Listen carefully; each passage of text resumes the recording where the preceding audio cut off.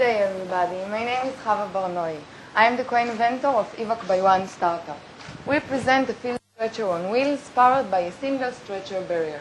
The market of field stretchers and tactical litters is practically crying out for disruptive invention. Infantry troops and EMS organizations still use the old folding stretcher patented in 1942, almost 70 years ago. The industry keeps on offering military and tactical litters the same old method of a four-man stretcher bearer team. Today, for the first time, we present a practical system for evacuation over rough terrain and off the field by one person only. The biggest pain of military and emergency medicine, both literally and figuratively, is streamlining the evacuation chain. There is a big problem regarding the golden hour concept. This is the golden hour between life and death. If you are critically wounded, you have less than 60 minutes to survive. An injured soldier or a trauma victim from a terrorist attack must be at a medical facility within an hour or less. This is hardly the case in reality.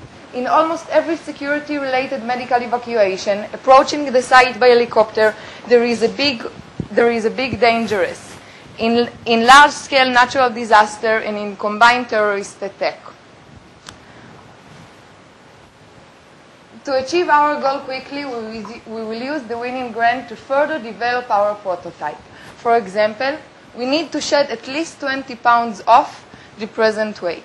Then we can offer several modified prototypes for training in military and civil rescue scenario. We also plan to develop a motor-assisted version. Any remaining funds would be assigned to R&D in order to initiate the UGV robotic litter, the holy grail of rescue. Regarding technical feasibility, we have a working and tested feasibility prototype. We tested it under extreme condition in a test led by a director from an international stretcher manufacturing firm. Let's watch a movie, 40 second condensed of that test.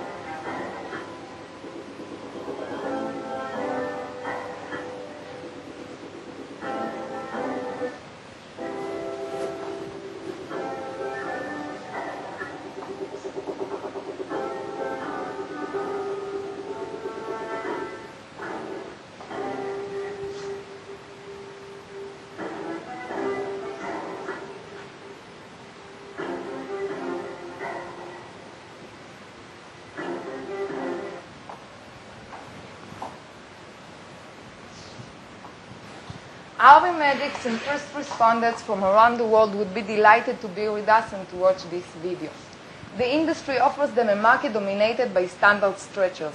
Those stretchers are becoming more and more expensive every year because they use lighter metal and technically improved. Unfortunately, they still employ the same old method of a four-man stretcher bearer team. Some high-end litter for search and rescue units now cost almost the same as our target price. There are some attempts to transport patients over rough terrain in a bulky device using a wheelbarrow design with one or two wheels. They are very expensive, they are very heavy and expensive, and they carry a price tag of up to two times our target price. Okay, I know it is a low tech device, probably the only one in this competition, but it will address this security pain and save lives low tech but highest of gain. Thank you very much.